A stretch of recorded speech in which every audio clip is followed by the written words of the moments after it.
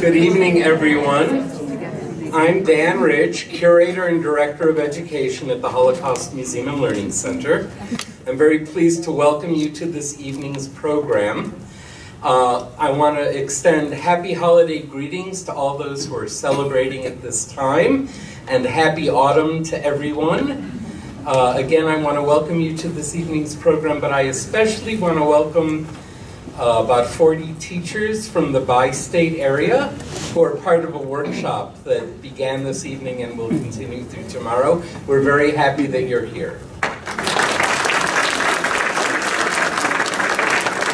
We're about to get word out about our next upcoming program, which will be Tuesday, November 19th at 7 p.m. here in the Kaplan Feldman building.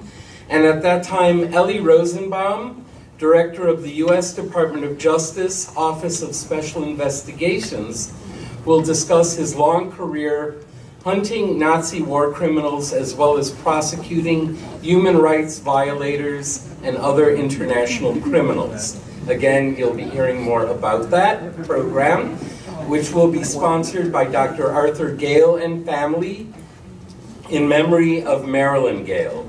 And now to introduce our speaker, it's my pleasure to call upon Bud Rosenbaum, Chair of the Holocaust Museum and Learning Center. Thank you.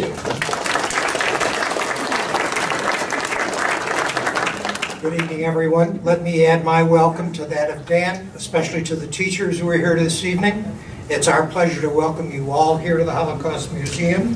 Uh, I was going to, at this point, mention something about the fact that when we planned this, uh, no one in their wildest dreams thought our competition would be the third game in the national But given the circumstance, I'm not going to mention that at all. First of all, let me tell you this evening's program is presented by the Gloria and Reuben Feldman Family, Fashion, Family Education Institute. And as always, we thank Gloria and her family for their continuous devotion, leadership, and generosity.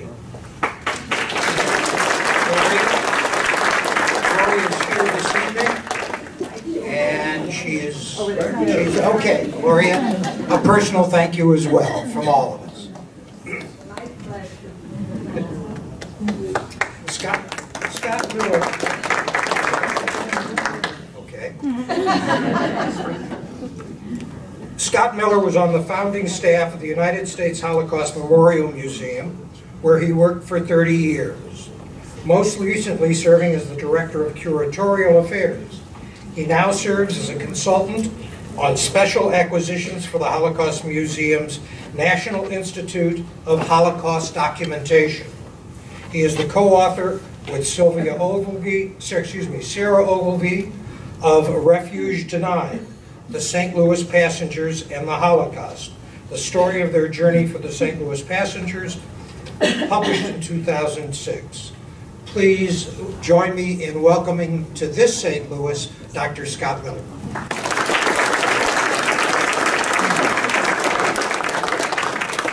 Thank you, but can you all hear me?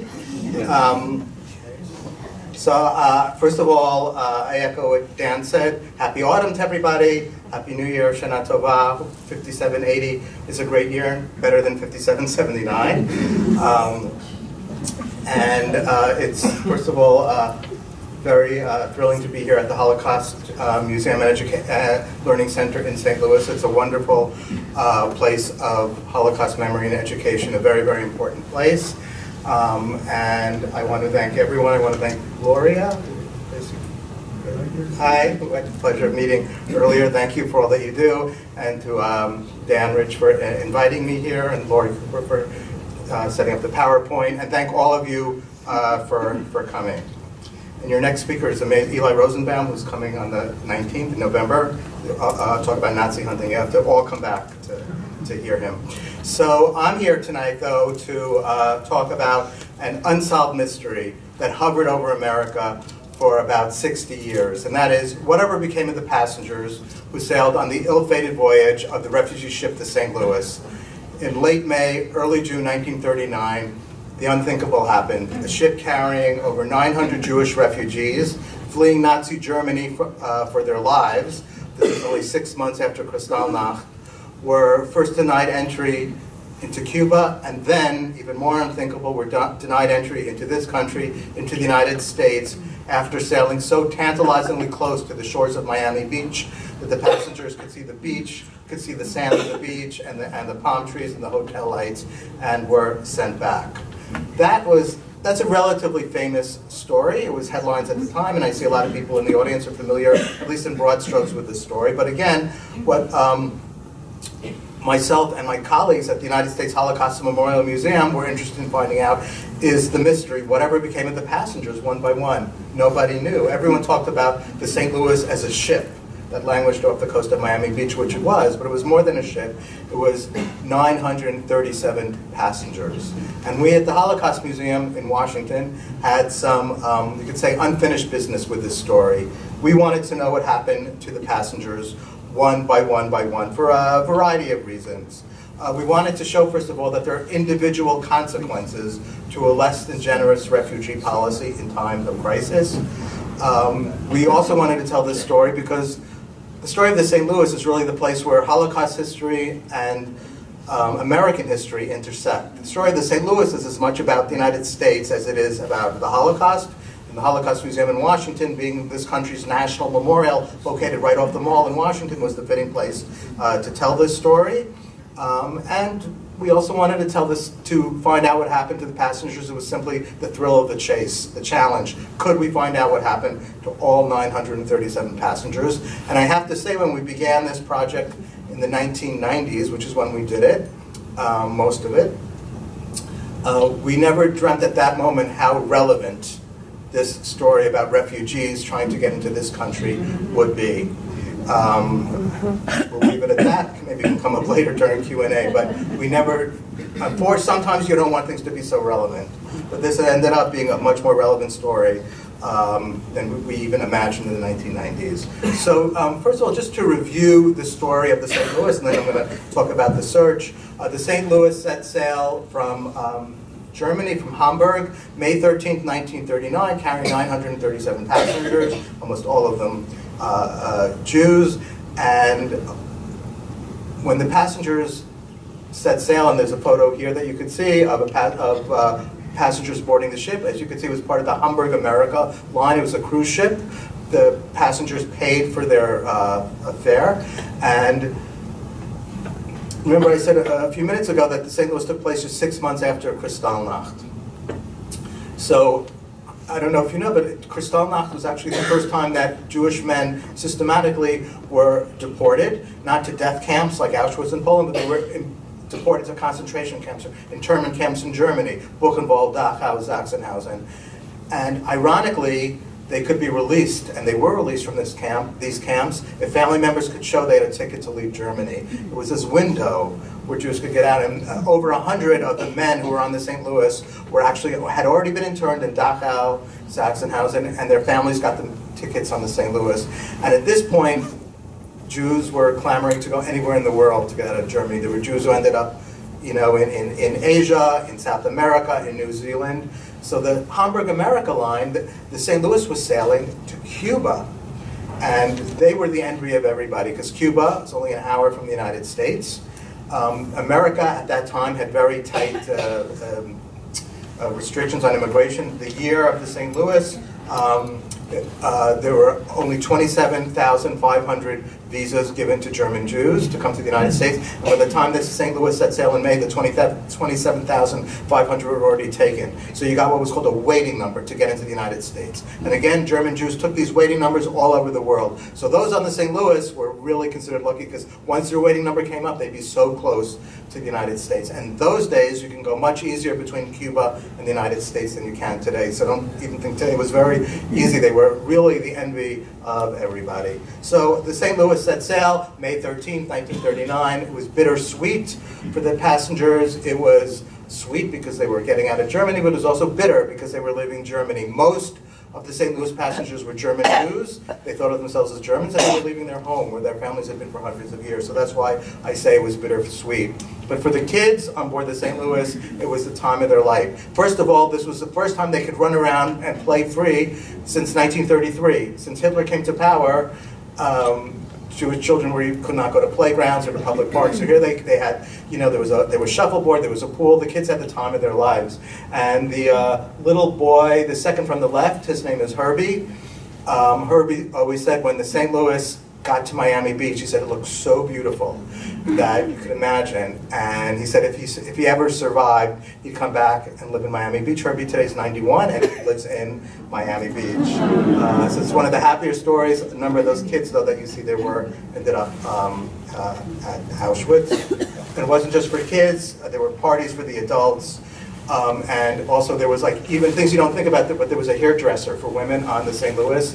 Um, Jewish women couldn't go to hairdressers in you know the cities they lived in. So here, this was really a real flight uh, to freedom. But oh, and there was also um, you know uh, all types of sports and recreation on board the ship.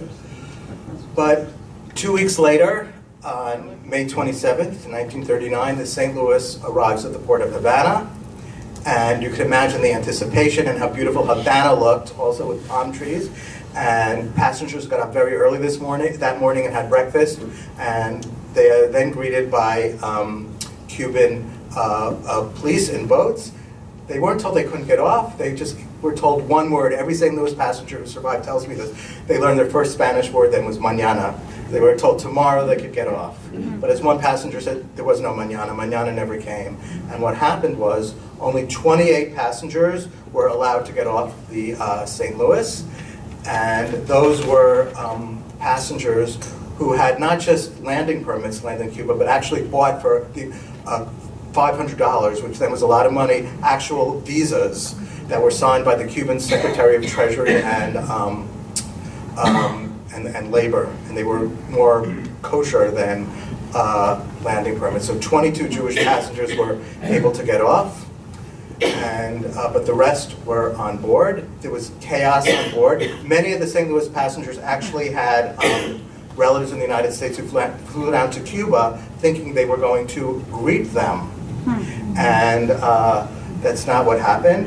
Instead, the passenger, the relatives of the St. Louis passengers were able to rent these little boats, and they sailed out to the uh, St. Louis and were able to wave. They came within a few yards of the passengers and were able to wave, but um, not touch, not get on board. So here's a mirror image. Those are the St. Louis passengers looking out at their relatives on these small uh, ships.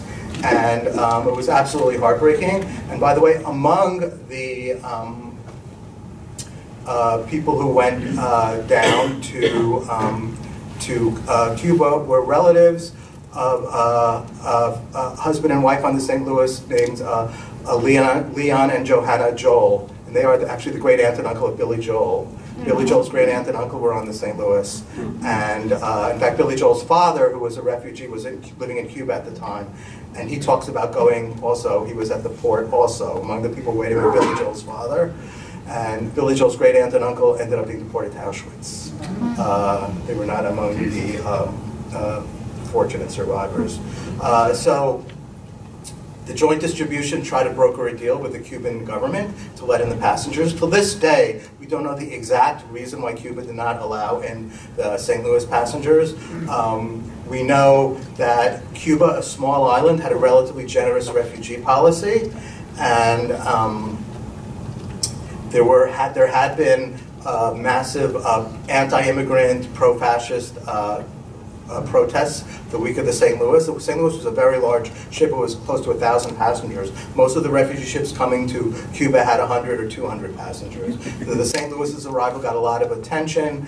Uh, there was also a corrupt Cuban um, consular official named Manuel Benitez in Germany who was selling landing permits to the uh, German Jews for a lot of money and pocketing the money. And he was corrupt, and there's a theory of many historians that unfortunately the St. Louis passengers fell uh, prey to the infighting in the Cuban government. That the Cuban government was punishing Benitez by saying, "We know what you're doing.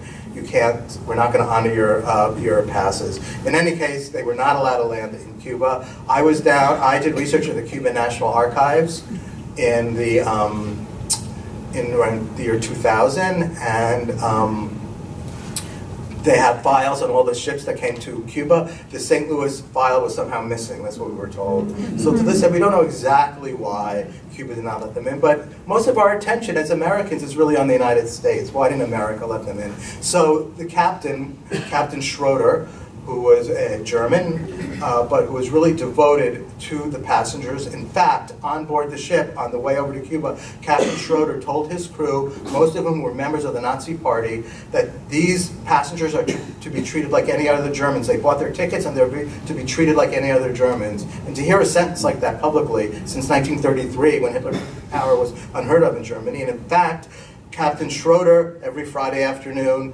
gave the ballroom uh, for Kabbalat Shabbat to have uh, services for the passengers, and he ordered that the portraits of Hitler and the swastikas be taken down for Shabbat for 24 hours. He was a really uh, righteous person. He was committed to finding haven for the St. Louis passengers, so he sailed slowly to the coast of Miami Beach.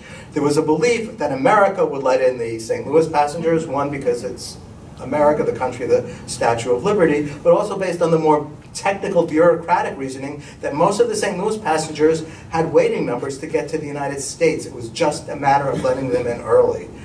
So they're not even what today people refer to as boat people.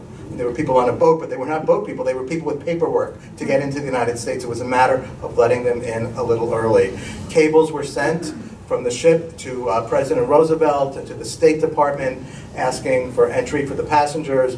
As far as we know, the cable from the White House was never answered, but the State Department did answer, the head of the uh, visa division, saying that the St. Louis passengers would have to wait their turn until the numbers came up. You can imagine what this like was like. They just left Germany and now they're right off the coast of Miami Beach. And maybe later during question and answer, I'm sure many of you have questions about, well, why didn't America uh, let them in? And I think many people here are familiar with the answers in terms of um, the, the, xenophobia and anti-Semitism that was at its height in American history at that time in America. America was in a uh, uh, depression. Um, there was certainly no political benefit for Roosevelt to let in the passengers.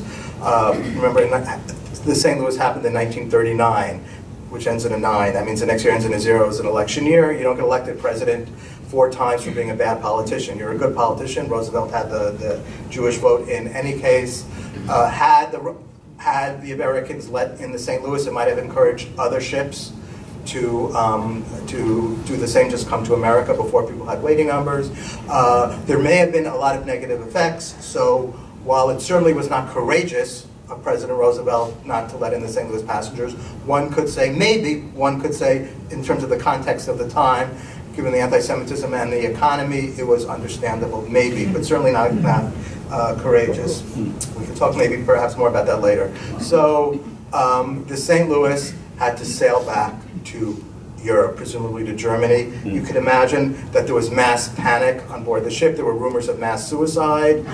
Um, but Captain Schroeder stayed in touch with the Joint Distribution Committee, the JDC, or the Joint as it's called, that still exists today, doing wonderful things in the world the JDC were really, at the time at least, the unsung heroes because the JDC brokered a deal with four Western European countries other than Germany to take in the St. Louis, Fran to take in the passengers, France, Belgium, Holland, and England. So on June 17th, the St. Louis did not have to land in, um, in Hamburg, where it set sail from, but rather in uh, in Antwerp, and from there the passengers were divided between those four countries that I just said. And at that time, that was considered the happy ending to the story. But we know from history, which is hindsight's always 2020, we know that three out of those four countries, Belgium, France, and Holland, were invaded by the Nazis in mid-1940. So to be a Jew in any one of those countries in 1940 was the same as being a Jew in Germany. So the St. Louis passengers could say were double-crossed. They both, they were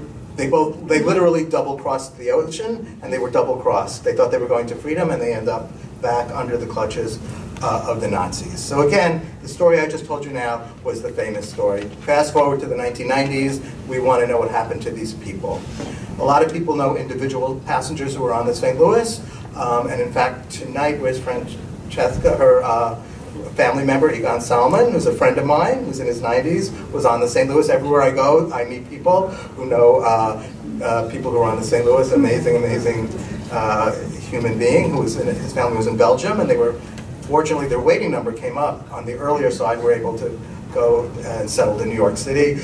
Um, but no one ever knew as a collective what happened to the story, what happened to the passengers. So the first thing we did, and I have to remind everyone in this room, this was the dark ages of the 1990s, before social media or internet or even hardly email as we know it today, just want to remind you. Um, so no, I would have thought to go to Facebook if that's what you were thinking. it, didn't, it didn't exist.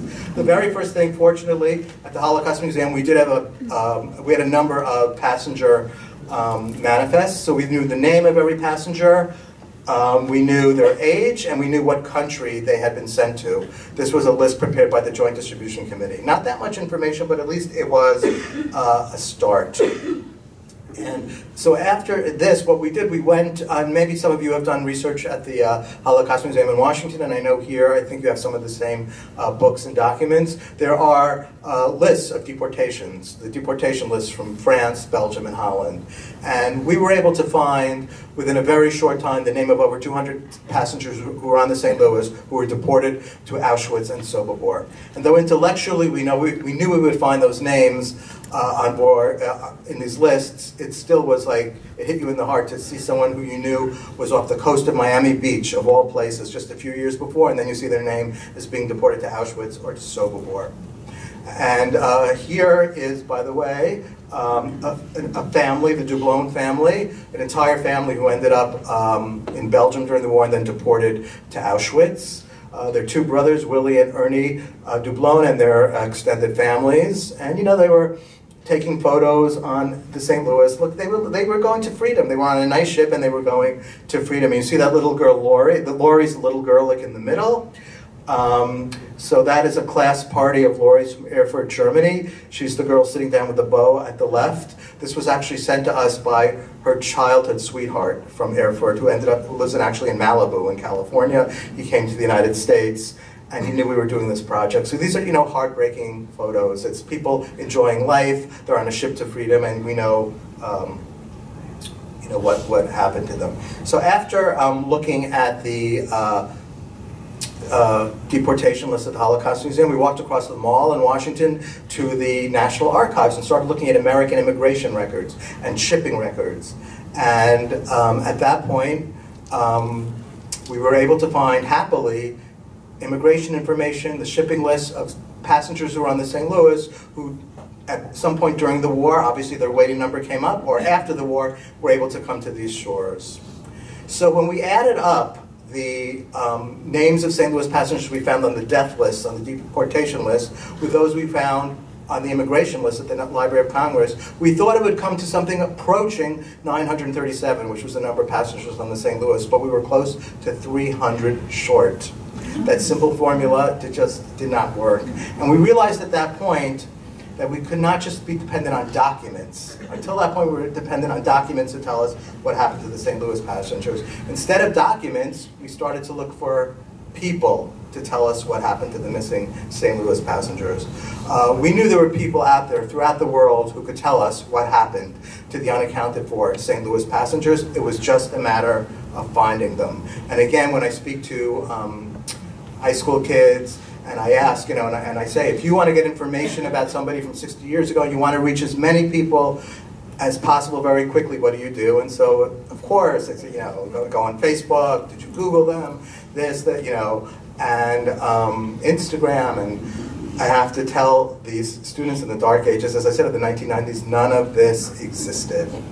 And um, I often wonder what the project would be like if I did it today, but I have to say that social media is great, usually, but it does not replace traditional research. We would not have found everybody. Um, so when we, the, so the first thing that we did to find out what happened to the missing St. Louis passengers is that we went, in the absence of any social media, we went to what what I call real media, which is newspapers and radio and television. That's what Holocaust survivors did after the war, especially radio and newspapers, to look for missing people. We put ads in newspapers around the world that we were in search of the following missing St. Louis passengers. We were on the radio. Uh, we were even on television. The Holocaust Museum sent me to media training at a very fancy um, PR firm on K Street in Washington. It was a big failure because they kept telling me, don't talk with your hands. um, anyway, so we started in terms of. Your mic's, your mic's on. Your mic turned off. Oh, can you hear me now? No.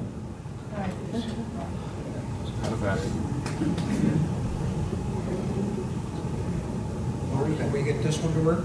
Dark ages. This one doesn't work either, does it? Is there something that, I talk with my hands that I push them?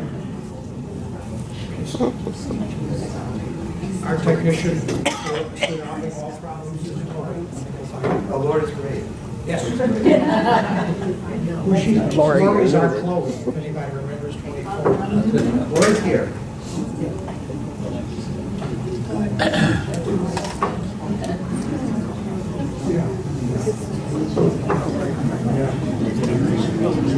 Should I wait or try to talk loud? No. Okay, she'll be here in a second. So, um, we, um, the first thing we did, we decided to put ads in newspapers. And um, the very first newspaper we, in which we put an ad, remember ads were very, you know, they cost a lot of money. We printed it in a small German language newspaper in, that's published in Tel Aviv uh, called Israel Nachrichten, the uh, Israel News or the German News. Why, why there? Well, first of all, why is there a German language newspaper published in Tel Aviv? Because there's a large German Jewish immigrant population that went to Tel Aviv and Haifa, to the large cities over the years. And uh, this is primarily a German Jewish saga. And I, you know, again, had no background in media. I was a, a documents person, an archives person, a library person. And we, we put an ad uh, in this newspaper, Israel Nachrichten, that was in German, Hebrew, and English. And the ad said, um, is that word? No. And, okay, so I'm speaking right now. You can find it's better, but. Okay, now, you- now you're in the area of just pushing buttons and seeing if that- if anything will work.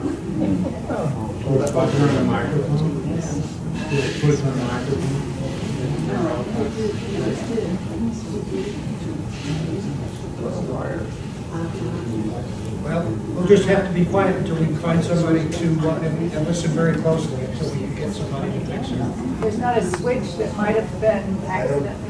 I don't know, I don't think so. I, I, I really don't touch it.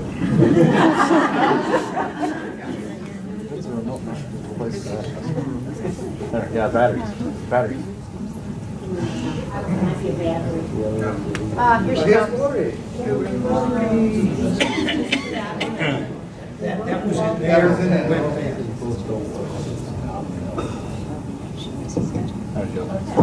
Don't worry. I, I, I kept saying Lori was out.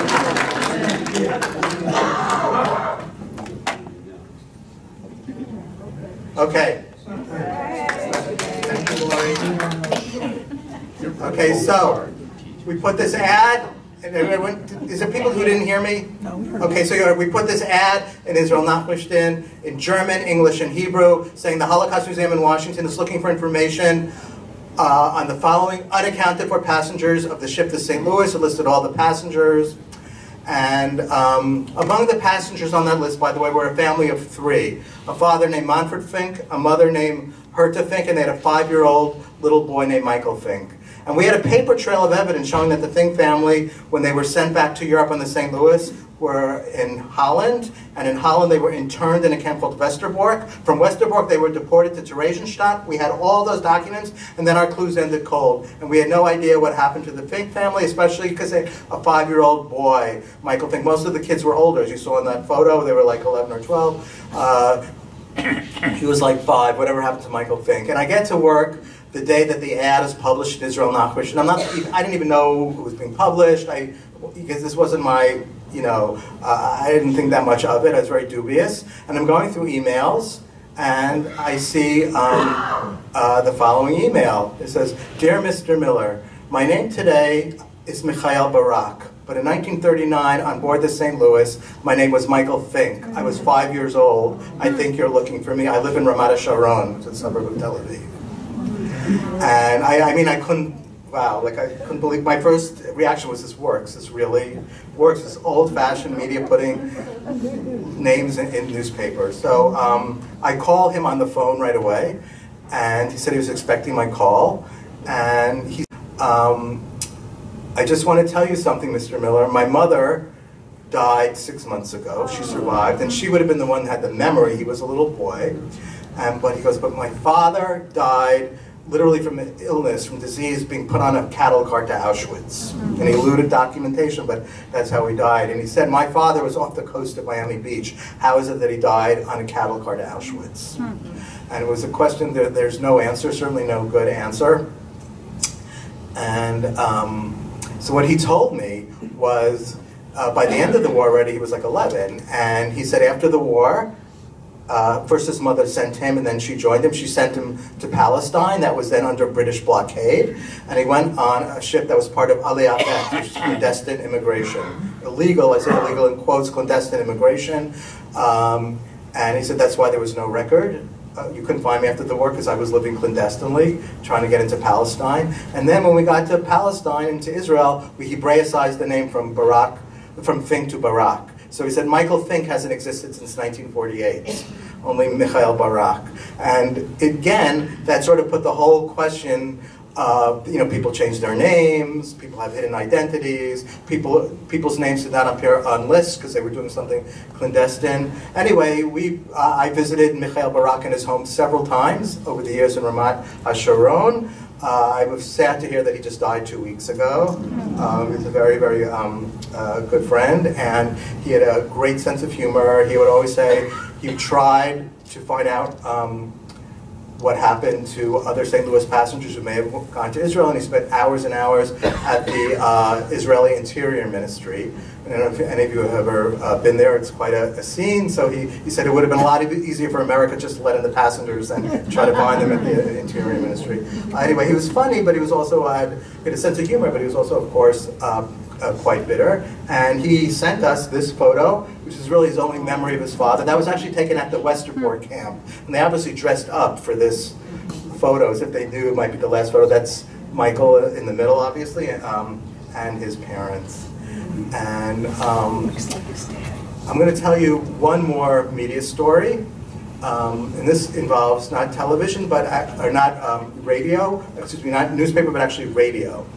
And I always enjoyed being on radio more than television because no one could see you, so you could talk with, you know, with your hands. So we were on NPR, and um, we, were, we were interviewed by Scott Simon on NPR, and we were asked uh, to tell the story of just one St. Louis passenger we were looking for. And I don't know how we just choose, chose one. There were a few hundred at the time.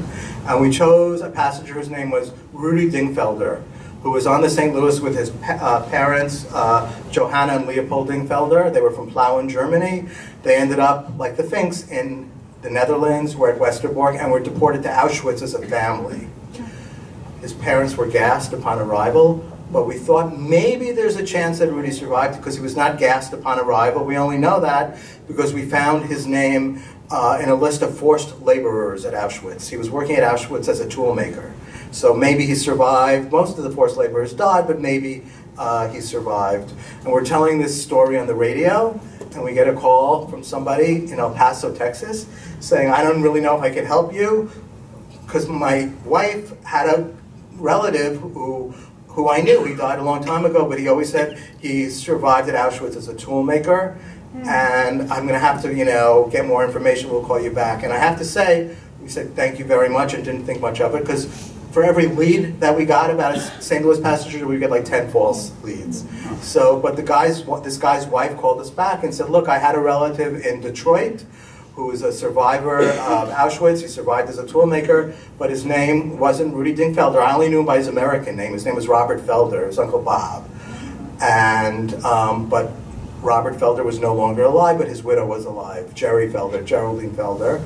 And she gave us the phone number, and we called uh, Mrs. Felder, and uh, I said, you know, this is Scott Miller. I'm calling from the Holocaust Museum. And I said, was your husband Robert Felder?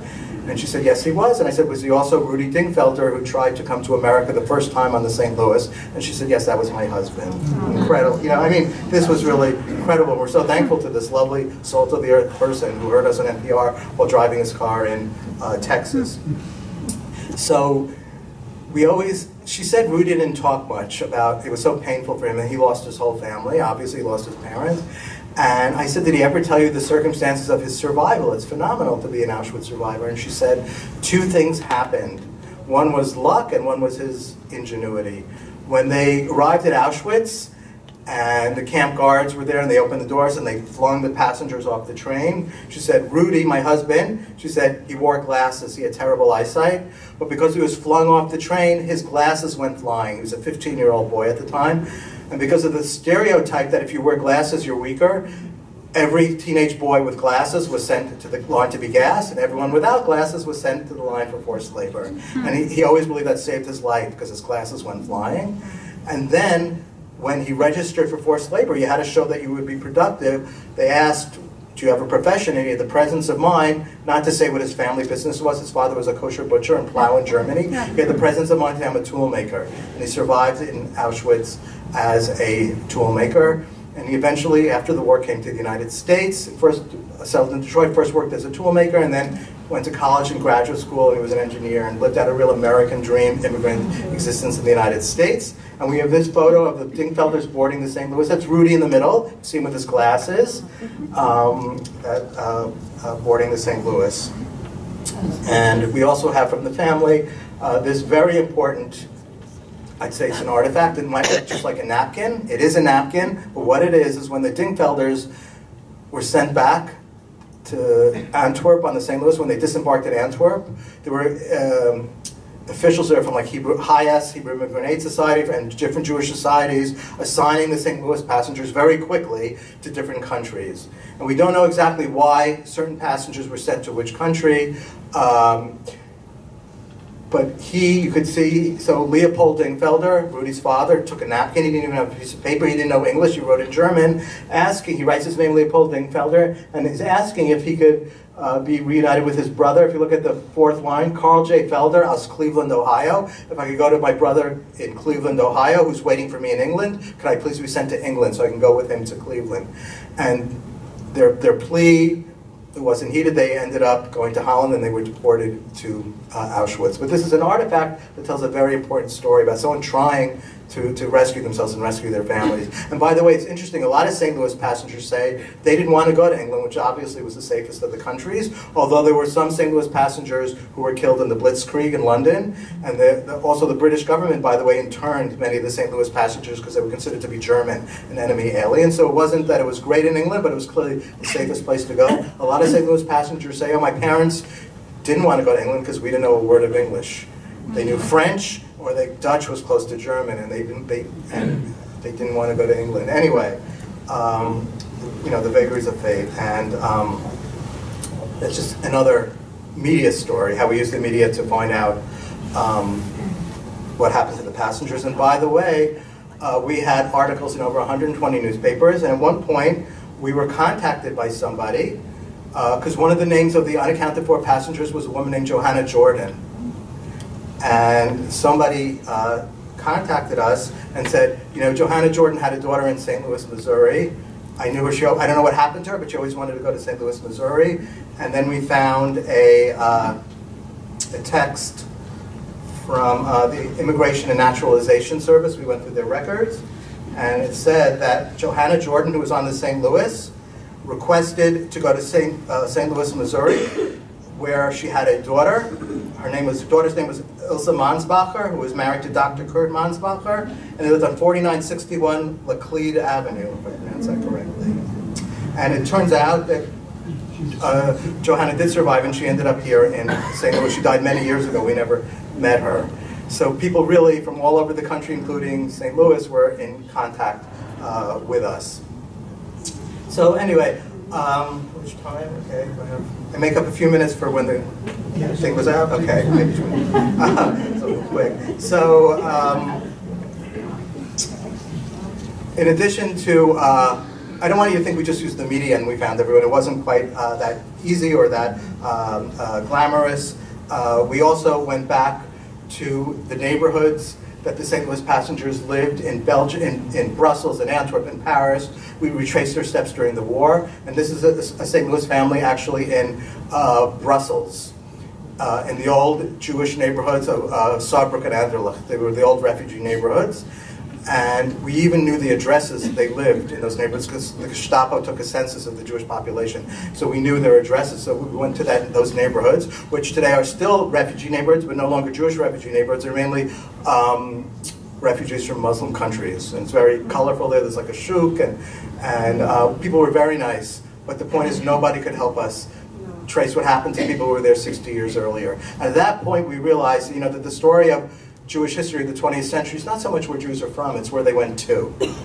Um, the places where they were from, unfortunately, were more or less wiped out, but it's where they went to. So we re re redirected our search to Israel and to the United States, the two centers of world Jewry. I'm going to I'll focus this evening um, on the United States. I'm going to start with New York City, the city uh, where more Holocaust survivors settled than anywhere else in the United States, also the city that um, I am from, where I grew up. And um, so what did we do in New York City? We went to the New York Public Library and looked at old telephone books. So again, something I have to explain when I speak to kids what a telephone book is.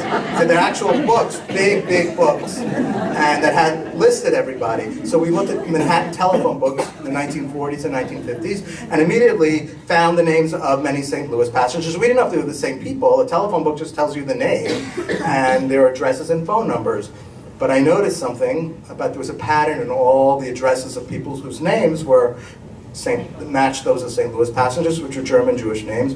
All the addresses were like in around a, a 40 block radius from about 170th Street on the upper, upper west side to around 210th Street. So if there are any New Yorkers in this room, you know that's the neighborhood of Washington Heights. And Washington Heights and for me, as a New Yorker, this was the, the, the moment of epiphany for the entire of the entire project of searching for the St. Louis passengers, because I never thought to look in Washington Heights. I grew up not far from Washington Heights. Washington Heights was the center of German Jewry, even beginning during the war, but certainly after the war. It was the largest German diaspora city anywhere, uh, neighborhood anywhere in the world. So much so that after the war, people referred to it as Frankfurt on the Hudson. They called it the Fourth Reich, and many, many, many prominent German Jews grew up in Washington Heights. Uh, Henry Kissinger, who by the way was related by marriage to a St. Louis passenger. Uh, Max Frankel of the New York Times grew up in Washington Heights. Ted Koppel was a refugee child. He was born in England on the way from Germany, grew up in Washington Heights, and perhaps the most famous German Jew in the world lives in Washington Heights today, still, and that's Dr. Ruth, Ruth Westheimer. She still lives in Washington Heights, and she was related by one of her husbands to a St. Louis passenger also, by the way. Uh, so I looked at these addresses, I said, that's it. I remember going to Washington Heights as a kid, visiting my friend's grandparents who were from Germany. I got on the uh, A train all the way up, to got off at 181st Street, New York Public Library is down on 42nd Street, and I get out, and I realized right away that yes, like sort of like Brussels, still a refugee neighborhood, but no longer a German Jewish refugee neighborhood. It's primarily a Dominican neighborhood. I walked around and I still saw synagogues that were there. I didn't know if they were in operation, but they were there. The buildings were there. And I went to the I knocked on the door, literally it was during the week of the first one I saw, which was called Sharei HaTikva, Gates of Hope. And it was called Sharei HaTikva, Gates of Hope, because it was the first refugee synagogue founded already in 33, right after Hitler came to power. And an old man uh, wearing a kippah and holding a hammer came to the door. And I just yelled that I, I'm Jewish, I work at the Holocaust Museum, can you help me? And I explained what my project is. And members of the synagogue, were all of whom were German Jewish survivors themselves, got up on a ladder and took out old membership records from the synagogue that were written, they were in shoeboxes, written in pencil on index cards to see if any names match those of St. Louis passengers or relatives. Uh, maybe they uh, once settled in Washington Heights and died, and the relatives are paying for perpetual care of the graves. There are many ways to, to find out. And I have to tell you, first of all, there were around there were, this was in the 97 synagogues left in Washington Heights. It had been over 30 at one point. Uh, they were very helpful in finding helping us locate either St. Louis passengers who over the years had settled in Washington Heights or their children or relatives in Washington Heights.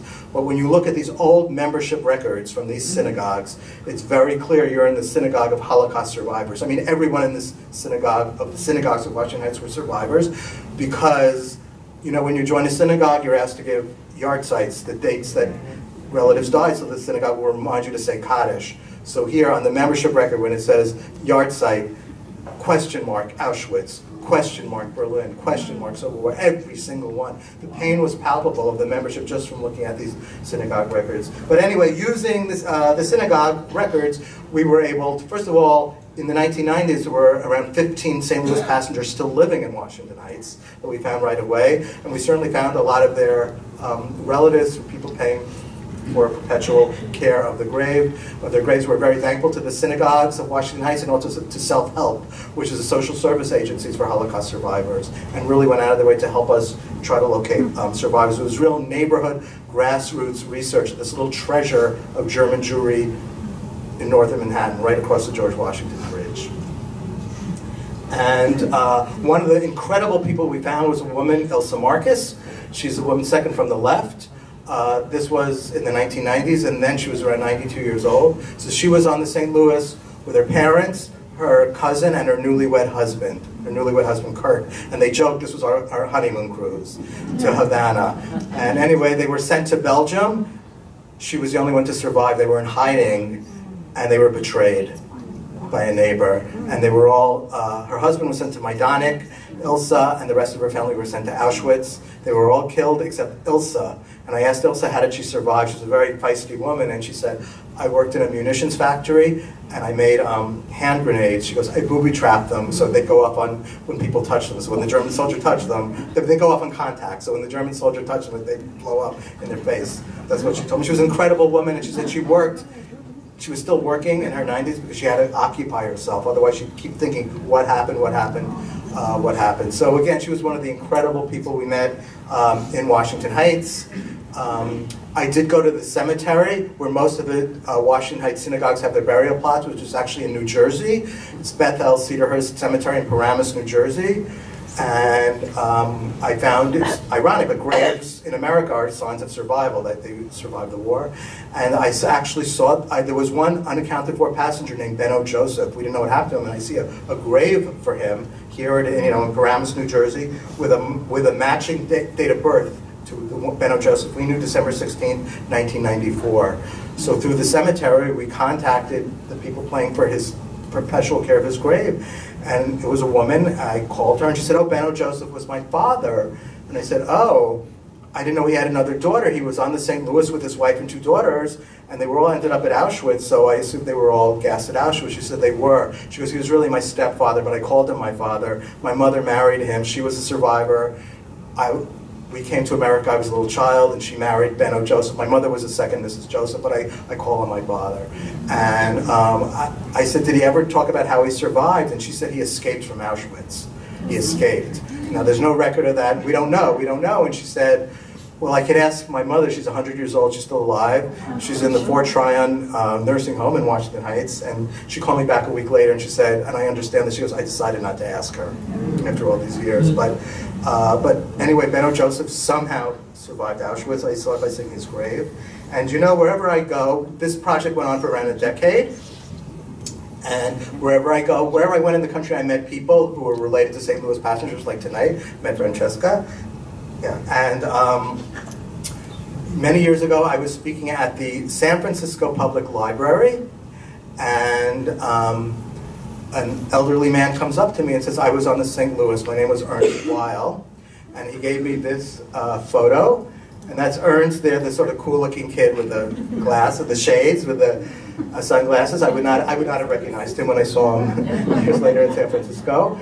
And uh, by the way, that girl sticking her tongue out at him is his sister, um, the sister of that boy Herbie, who said he'd live in Miami Beach if he ever survived. She actually, that was his sister. She actually, she was deported to Auschwitz. Um, he, we, he survived, and he said, you know, I always wanted to know what happened to my best buddy, uh, Horst Rotholz. We ended up in France together, and we were put into a children's home. And the children's home was raided, and we were all separated. Some of the kids got caught and were deported right away, and some of us ended up fleeing, and our lives were saved. And I, none of us know what happened to the others. And he said everyone knew Horst because Horst always played a harmonica. And he never put that harmonica down. He got it as a Hanukkah present from his parents, who were not in the children's home, they were in Paris. But they thought to, you know, send him a present for Hanukkah. And uh, anyway, we have this photo in our archives of children from the same children's home as Ernst and Horst. And maybe you can see which one is Horst, that second from the left. And anyway, we had to tell Ernst that Horst was deported to Auschwitz January 1943. He had gotten that harmonica for Hanukkah a month before December 1942. And Ernst sort of knew, he had a feeling that something happened to Horst, but we were able to at least give him that closure and let him know uh, what happened. And the, the stories of the St. Louis, the children on the St. Louis were just um, pretty um, unbearable. There was a um, little infant in that in that uh, photo, I believe, yes, um, being held. Her name was Judy. She was the youngest St. Louis passenger. She obviously doesn't remember being on board the ship, but she can remember uh, four years later being four years old, and her father in France was holding her hand, and this was all prearranged, and he was trying to get her attention. He said, "Judy, look up at that, look up at the sky. It's really pretty." And her, she remembers her father's hand retreat, you know, retreating, and another hand holding her hand. She looks up, and it was a stranger. It was her rescuer. Her father arranged to have this man, non-Jewish man, take her, but they didn't want to tell her, so they he just so she never had, so had a goodbye for her parents. Um, and Judy is still alive. She's one of the younger St. Louis passengers. She's 80 or 81. She's the youngest St. Louis passenger. She lives in Queens. We're very good friends. Um, so I'm going to conclude with this group photo here of children on the St. Louis. And just to tell you that uh, over the course of a, uh, a decade, we were able to determine the fate of all 937 passengers on board the St. Louis. And um, the, uh, it was using all types of, I, I described some of it to you this evening. And I just want to say that much to our surprise, the majority of St. Louis passengers survived the war. That was never known. But in a certain way, that doesn't um, diminish from the tragedy. In a certain way, accentuates the tragedy in the following. Why did this particular group of Jews who got caught up in Europe end up, the, the, the, the scales were tipped in favor of their survival?